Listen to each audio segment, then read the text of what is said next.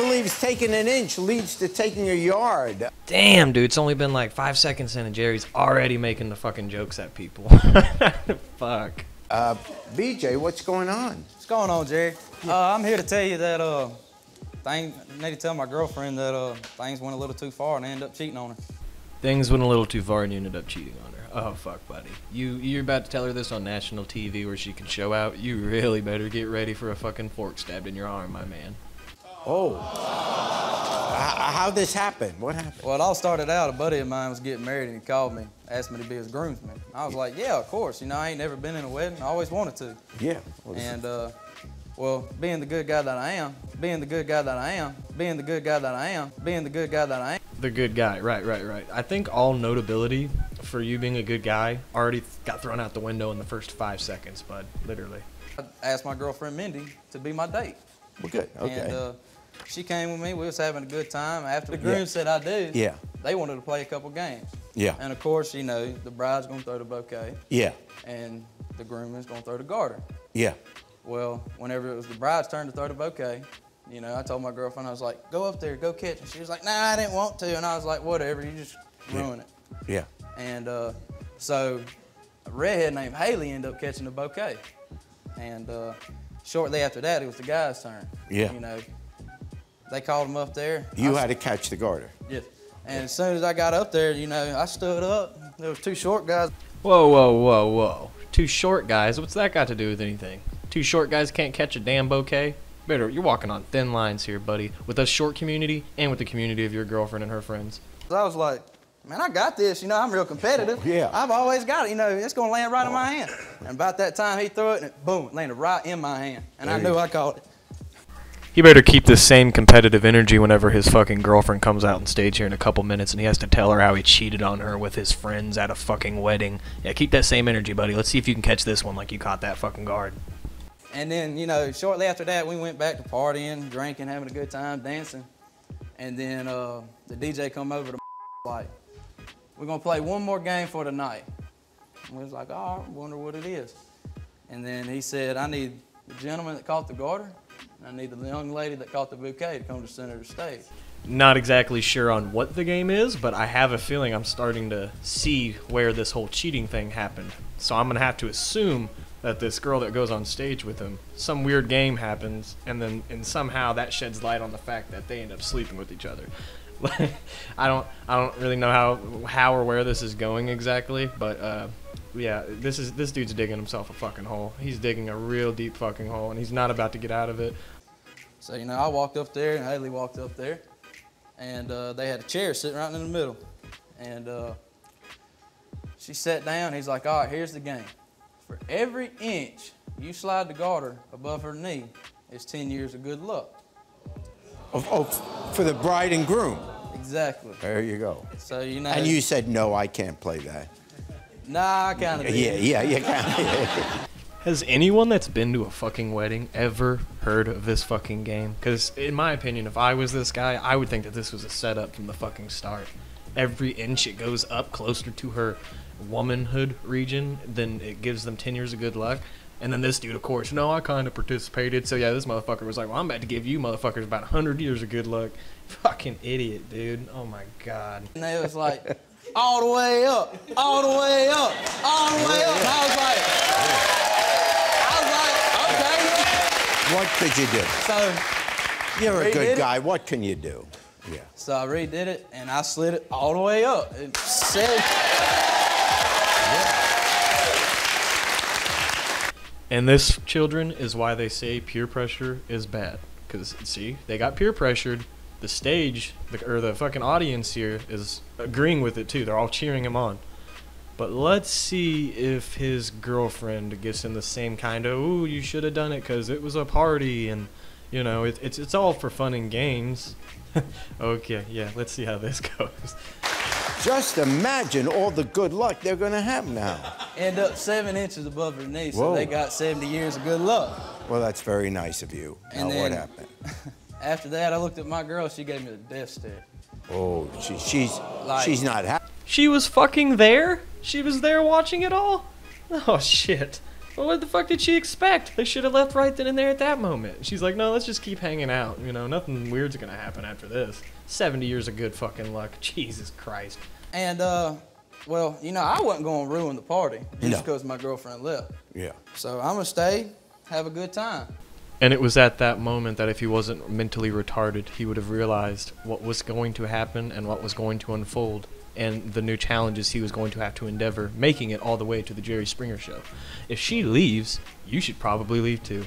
Let me tell you, buddy, I've been married for two years, and it's always a two way street. There's been times where she hasn't wanted to comply with me, and I haven't wanted to comply with her, but in the end, we both end up complying with each other because we realize that's the only way it's gonna fucking work. So just cut all the hard shit out in the beginning, and just don't be a fucking jackass, quite honestly. Don't be a fucking douche. What do you want to tell Haley? Because she's coming out here now. She's fucking coming. Of course, the side hoe is here. They're always here. So here comes the side hoe. The side hoe is gonna come out. You know who's coming out after her. Hopefully, we'll see some fists fucking flying, a little cat fight. Rear.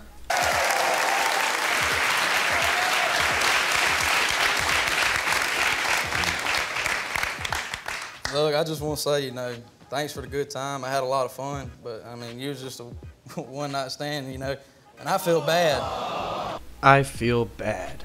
But do you? Do you really feel bad? Do you think you did anything wrong? I feel bad, and you know, I got to tell. Look at that fucking smirk he's trying so hard to hold back as he says this to her. This dude don't fucking feel bad. He's a piece of shit. It's probably happened before, and it's probably gonna happen again just with someone else. Mindy, What do you mean? We have a great chemistry. I really like you, and you know your name's really good. And you also told me I put it down better than she does. So Put it down better. That's funny. Let me tell you something, sweetheart. Anybody that fucking cheats on someone with someone else, they always tell that person they put it down better. Anybody who even just breaks up with someone and gets into a new relationship tells that person that they did it better. I mean, I've had plenty of females in my life tell me my dick was the biggest they've ever seen. Do you really believe that's true? I'm five foot fucking six. My dick ain't the biggest they've ever fucking seen. But they sure will tell you that at the moment. Regardless, my dick might not be the biggest in the world, but it moves like a fucking sewing machine. So with that, I digress. Here's Mindy. Here she comes. So before we do this, let's do this. So, do you think she's going to A, come out and be apologetic and say it's her fault for him doing what he did for her leaving? B, apologize to the friend that she had to put up with him and sleep with him and let her have him? Or C, come out guns blazing, and fucking swinging, trying to fucking kill the bitch? What, what do you think? Enter your submissions now. Three, two, one. Just to be sure, I hope all of you guys C, because that had to have been fucking obvious. Did anyone notice that chick throw her punch in like slow motion? Like, check this out. Whoa, whoa, slow the swings down, girl. You're gonna cause some real collateral damage and ruin some families.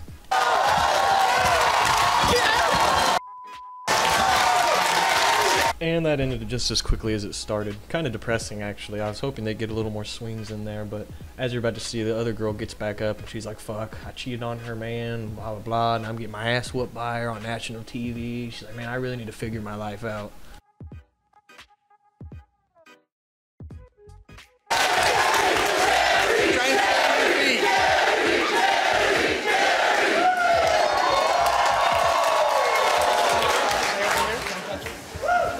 What do you want to What do you want to say? Back off my man.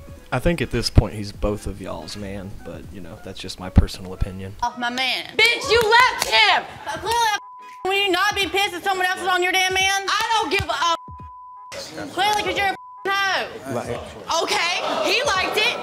He's desperate. Oh, okay. Desperate. That's why he's with you. You know, I feel for this girl a lot, especially from being in the position where you feel hopeless about the situation.